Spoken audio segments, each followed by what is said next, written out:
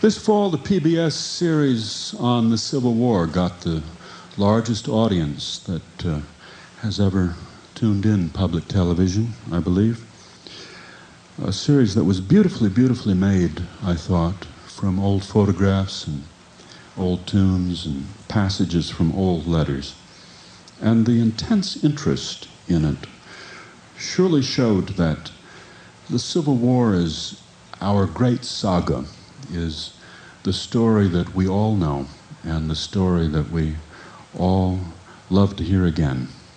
In tribute to this series, we've invited Jay Ungar and Molly Mason, who played some of the tunes on the beautiful soundtrack, to join me here as we do a few excerpts from a book entitled Company H, 1st Tennessee Regiment, a book by Sam R. Watkins, published in 1882.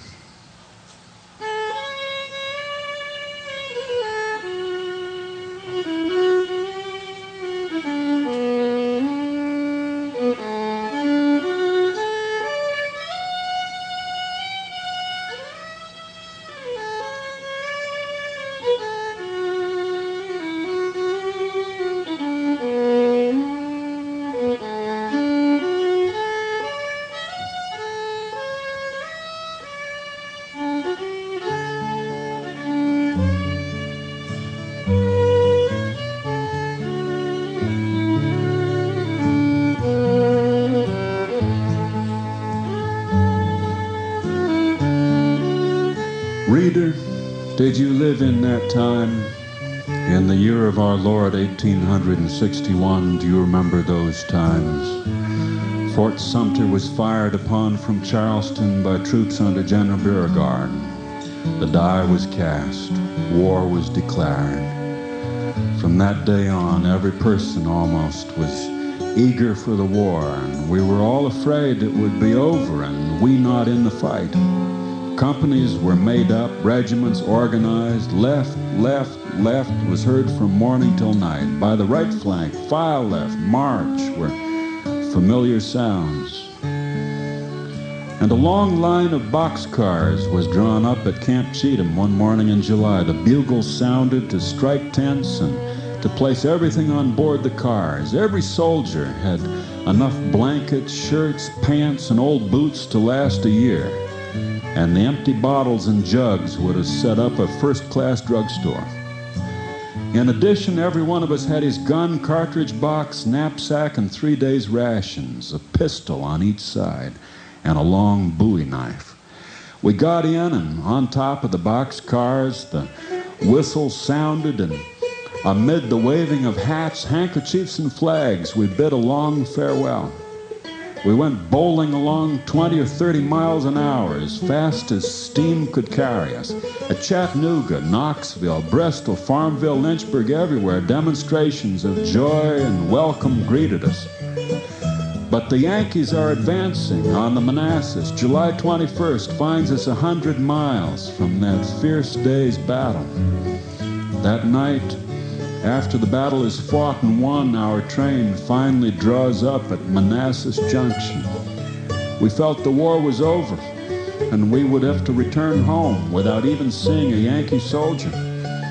How we envied those that were wounded. We would have given a thousand dollars to have been in the battle and to have had our arm shot off so we could have returned home with an empty sleeve. But the battle was over and we felt left out. Three years later, war had become a reality. We were tired of it. We cursed the war. We cursed General Bragg. We cursed the Southern Confederacy. A law was made by the Confederate States Congress about this time allowing every person who owned 20 Negroes to go home. Gave us the blues. We wanted 20 Negroes. There was raised the cry of rich man's war, poor man's fight. The glory of the war, the glory of the South, the glory and the pride of our volunteers had no charms for us.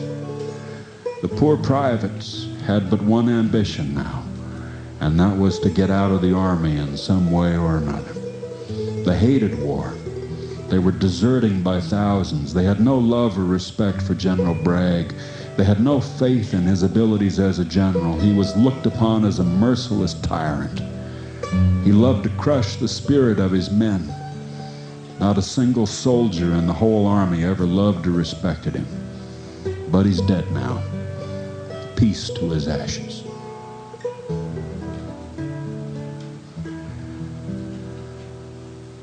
We're marching for Cumberland Gap. There are no provisions in the country. It has long since been laid waste. Fourth day out. The scene was grand, but grand scenery had but little attraction for a hungry soldier. Along the route, it was nothing but tramp, tramp, tramp, uphill and downhill, through long and dusty lanes, weary, worn out, and hungry. It was tramp, tramp, tramp. You might hear the occasional words, close up, but outside of that, it was tramp, tramp, tramp. I've seen soldiers fast asleep as they staggered along in their places in the ranks. I know that on many a weary's night march I have slept and slept soundly while marching along. After a while, we would see the morning star rise in the east, and then after a while, the dim gray twilight. And finally, we could discover the outlines of our file leader. And after a while, we could make out the outlines of trees and other objects.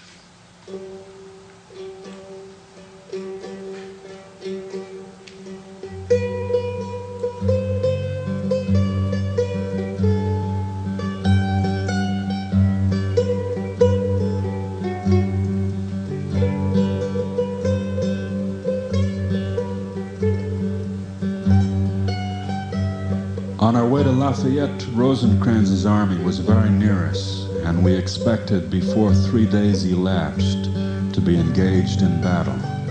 In fact, we knew there must be a fight or a foot race, one or the other. We could smell the battle far off. The next morning, the assembly sounded about 2 o'clock.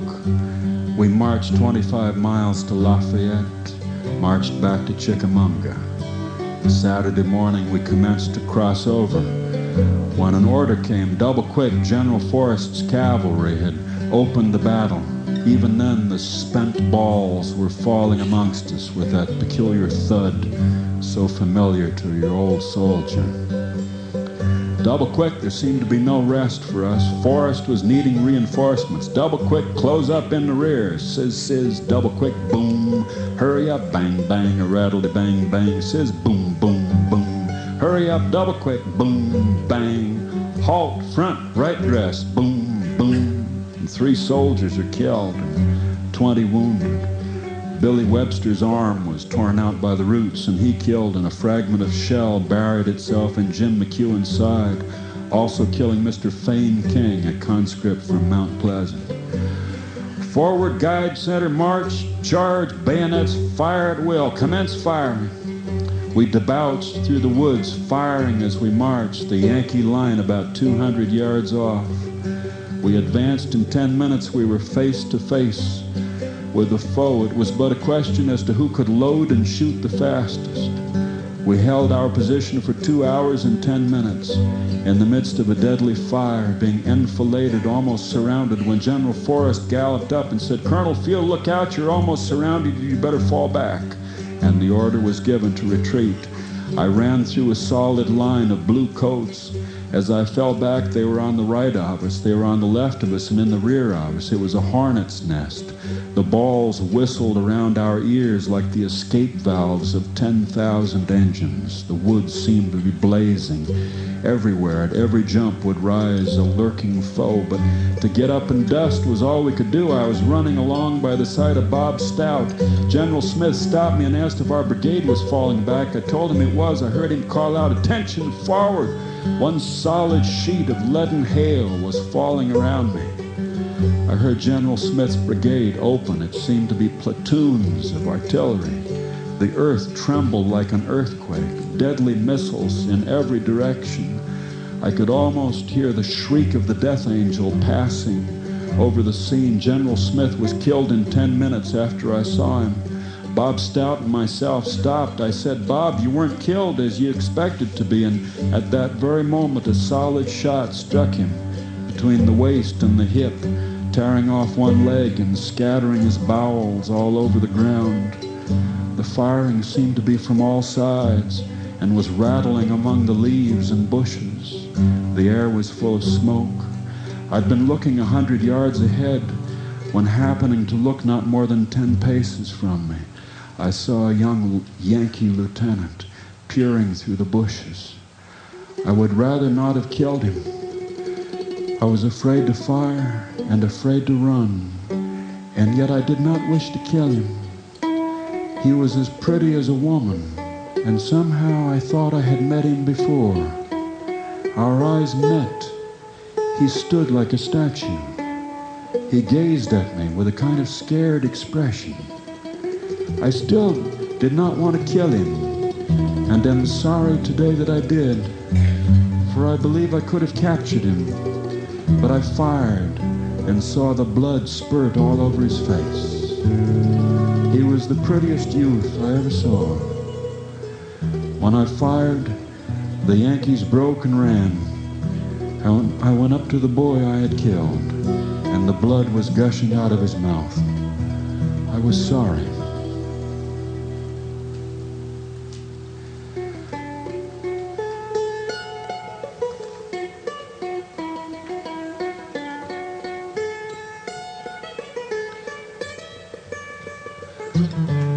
While stationed at Chattanooga, rations were very scarce and hard to get. And it was about this time we learned that Pemberton's army at Vicksburg were subsisting entirely on rats. We had once started out rat hunting, but we couldn't find any.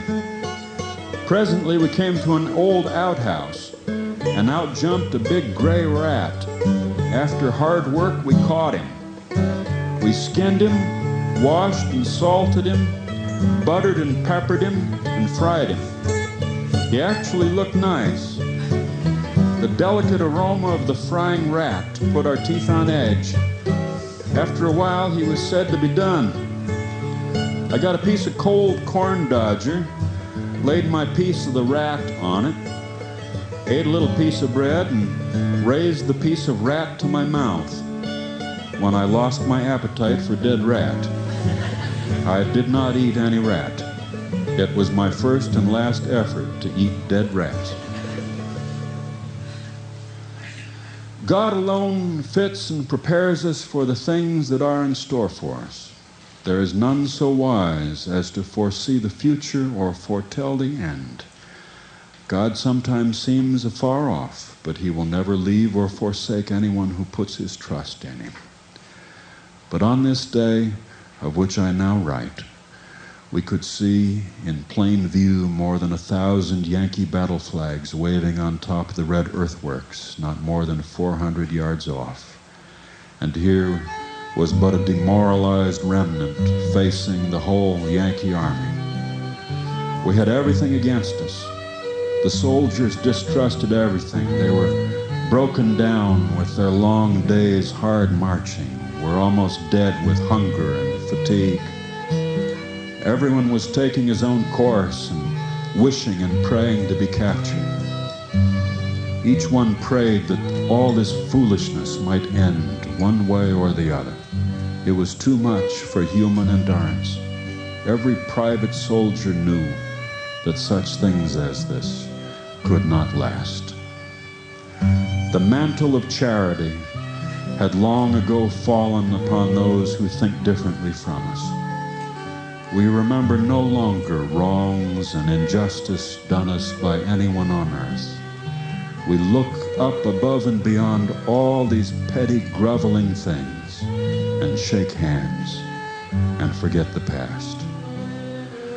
The tale is told, the world moves on, the sun shines as brightly as before, the flowers bloom as beautifully, the birds sing as sweetly, the trees nod and bow their leafy tops as if slumbering in the breeze. The gentle winds fan our brow and kiss our cheek as they pass by. The pale moon sheds her silver sheen. The blue dome of the sky sparkles with the trembling stars that twinkle and shine and make night beautiful. And the scene melts and gradually disappears forever.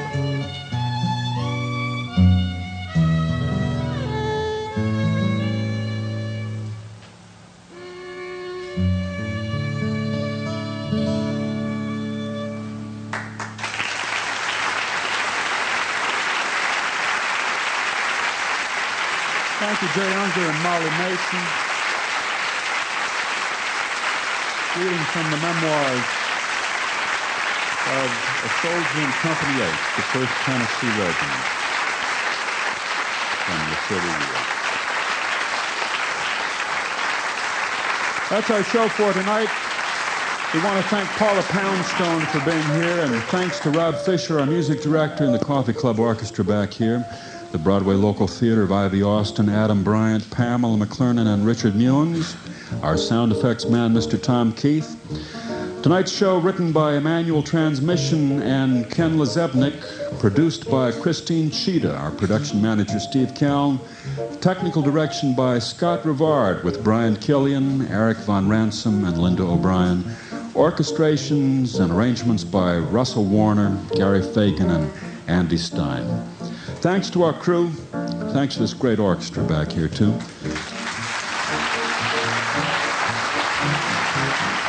The American Radio Company's principal sponsor is the American Booksellers Association, and additional funding provided by this public radio station. Take us out here, won't you, please?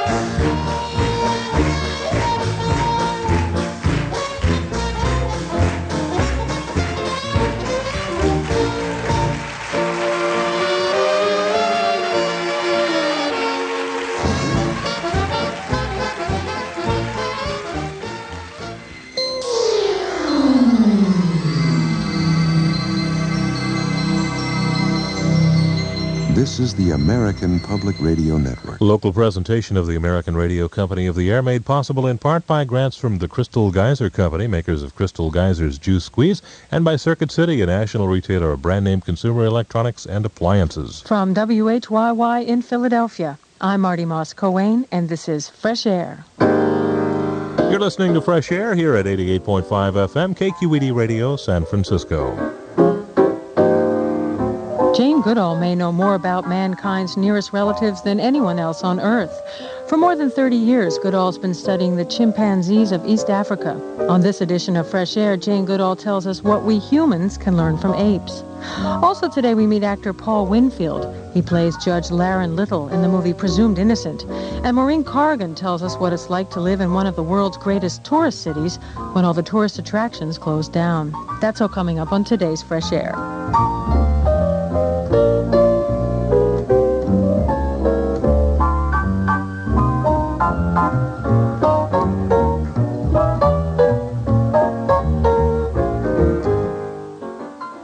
National Public Radio in Washington, I'm Nora Raum.